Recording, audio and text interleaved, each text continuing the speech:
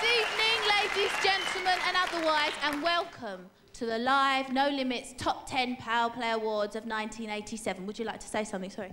Hello. yeah, this podium's very nice, isn't it? I mean, it's better than the one we had last year. I ain't fallen over yet. Very Yeah. nice. Well, as for the evening, we're going to be having lots of very special guests coming along, but there is one in particular we'd like you to meet right now. Yeah, he's a legend in his own lunchtime. He gets more fan mail than me and Jenny, but that's not very hard, is it? And in the short time we've known him, he's established a lot of respect and admiration from people in the music business. Will you welcome? He is here in person,